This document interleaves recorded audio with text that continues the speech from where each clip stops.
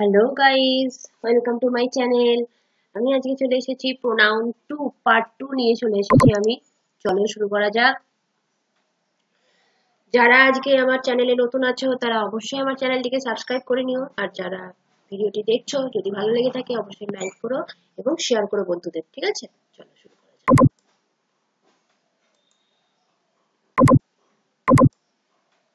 দেখো প্রোনাউনের আমি আজকে কিছু রুলস বলব, যে রুলসগুলো এরর কারেকশনে কিন্তু খুব আসে খুব আসে।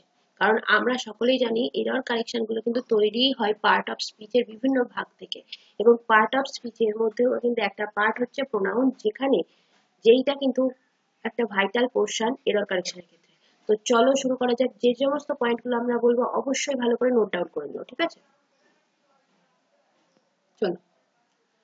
সিঙ্গুলার ভার্ব এবং singular positive verb R always applied after each either neither in a sentence তার মানে কি? যদি কোনো সেন্টেন্স ইচ আইদার নেইদার এর দিয়ে শুরু হয় এবং তখন এই যে ফ্রেজটা আছে ইচ আইদার নাইদার এই ফ্রেজগুলোর পরে যে ভার্বটা আমরা ইউজ করব, সেই ভার্বটা কিন্তু সব সময় সিঙ্গুলার ভার্ব হবে এবং সিঙ্গুলার পজিটিভ হবে। ক্লিয়ার দেখো এক্সাম্পল আমি কি বলতে চাইছি। দেখো যেমন এখানে একটা সেন্টেন্স আছে ইচ দিয়ে শুরু হচ্ছে ইচ অফ দেম যদি কোনো সেন্টেন্সে এমন দেখো যে ইচ দিয়ে শুরু হচ্ছে অথবা এইদার অথবা নেইদার কোনো জিনিস দিয়ে শুরু হচ্ছে, তখন কিন্তু তোমাদের যে তারপরের ভার্বটা সেটা অবশ্যই অবশ্যই কিন্তু সেটা সিঙ্গুলার হবে। এইগুলো কিন্তু এরর কারেকশনে খুব আসে। ইচ দিয়ে ইচ অফ দেম বা ইচ অফ দ্য পিপল ওখানে দিয়ে দিলে কিন্তু আর তো অবশ্যই কিন্তু সেটা ভুল হবে। এগুলো কিন্তু একটু নোট করবে। নেক্সট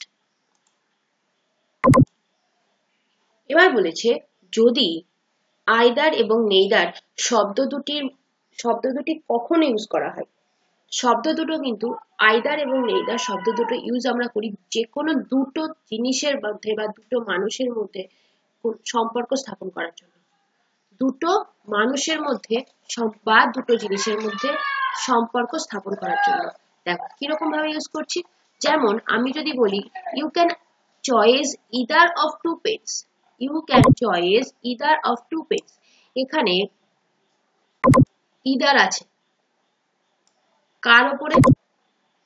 মানেটা কি বলছে? দুটো পেনের ওপরে। দুটো পেনের মধ্যে তুমি যে কোনো একটা চুজ করতে পারো।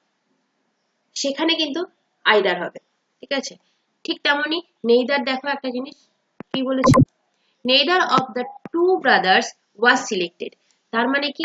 দুটো ব্রাদারের ক্ষেত্রে বলেছে, কেউই সিলেক্টেড হয়নি। দুই ভাইয়ের কেউই সিলেক্টেড হয়নি। তো এই টু কথাটার ক্ষেত্রে কিন্তু নেইদার হবে আর আইদার হবে। এইগুলো কিন্তু ভালো করে মাথায় রাখবে ঠিক আছে? শুধুমাত্র দুজনের ক্ষেত্রে বা দুটো জিনিসের ক্ষেত্রে কিন্তু আইদার অথবা নাইদার হবে। নেক্সট এবার আসছে, যদি দুটোর ক্ষেত্রে তো আমরা আইদার আর নাইদার বললাম, তাহলে যদি আমি দুয়ের বেশি হয় দুয়ের বেশি, তিন বা ততোধিক বস্তু বা ব্যক্তির ক্ষেত্রে আমরা কি ইউজ করব? তিন বা ততোধিক বস্তু বা ব্যক্তির ক্ষেত্রে আমরা কিন্তু আইদারের ক্ষেত্রে আমরা ইউজ করব এনি ওয়ান এবং নেইদারের ক্ষেত্রে আমরা ইউজ করব কিন্তু নান এটা কিন্তু দেখে নাও।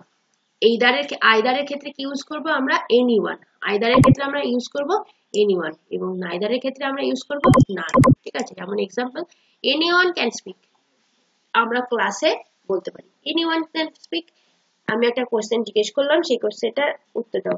Anyone can anyone can speak তার মানে কি? ক্লাসে যতজন স্টুডেন্ট আছো, তার মধ্যে যে কেউ বলতে পারো।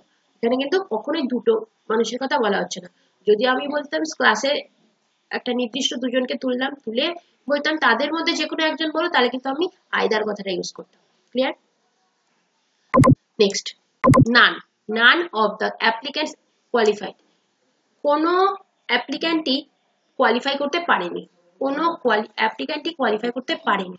তাহলে এখানে কি? নান কথাটা হয়েছে তাহলে নিশ্চয়ই এটা দুইয়ের বেশি। যদি আমি এখানে দেখতাম দুজনের মধ্যে বলছে, তাহলে সেখানে নেই দাঁড়াতো ক্লিয়ার নেক্সট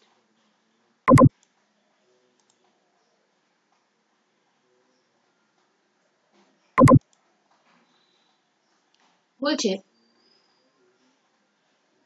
এইবার বলছে, পারস্পরিক যদি কোনো সম্বন্ধ বোঝাতে হয়, পারস্পরিক যদি কোনো সম্বন্ধ বোঝাতে হয়, তখন কিন্তু দুজনের ক্ষেত্রে ইচ আদার ইউজ করব।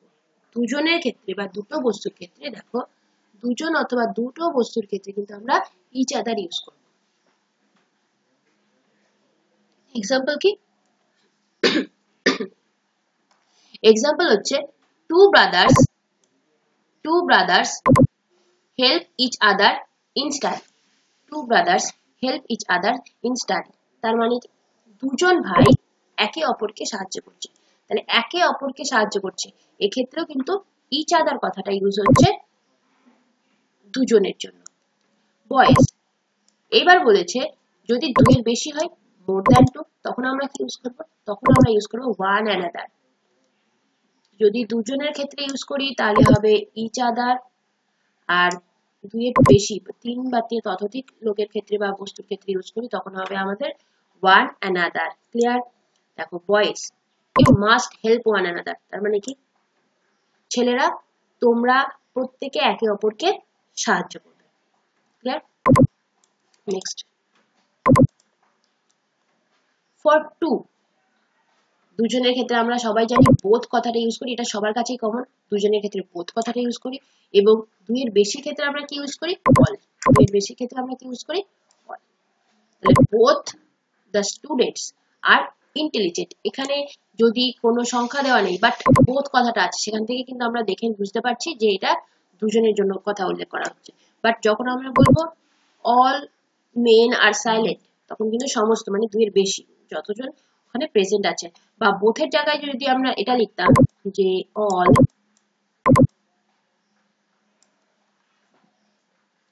all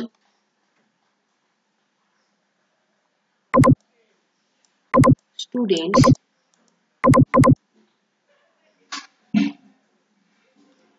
all student are intelligent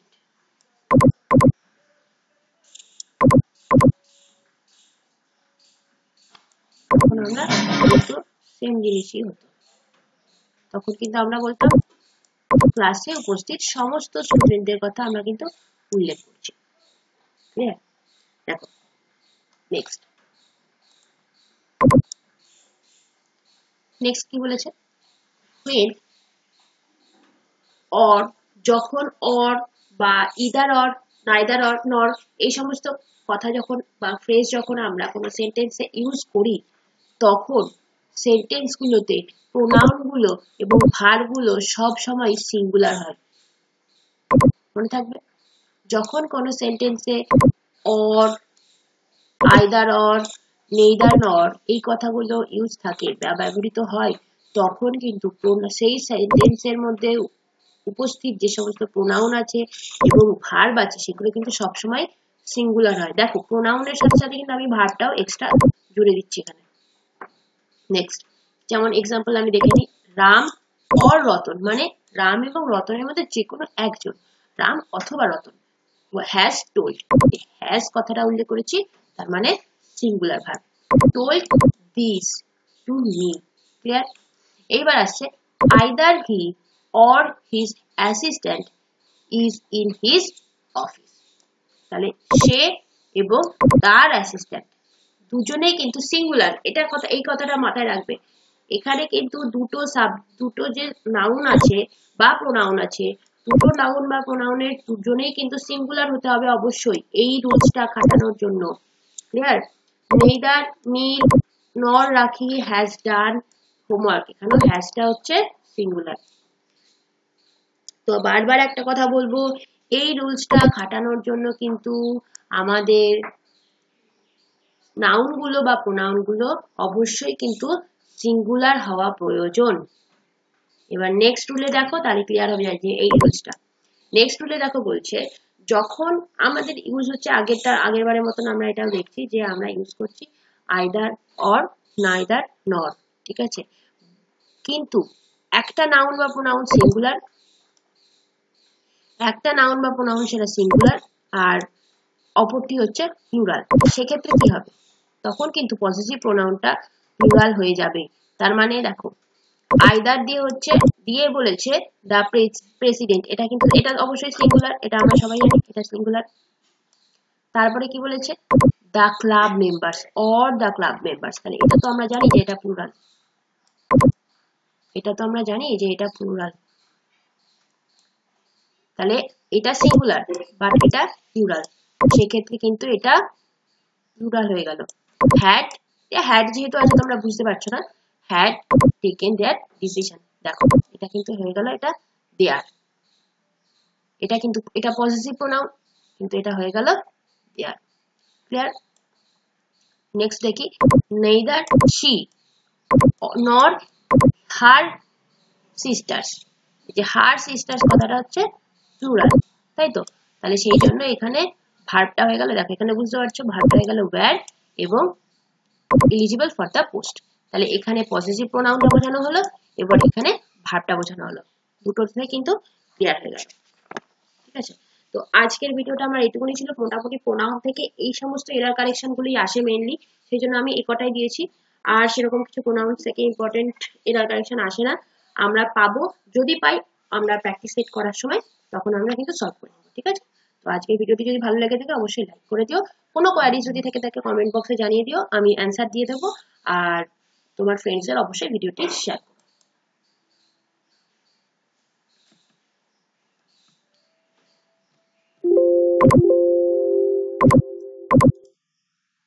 Thank you.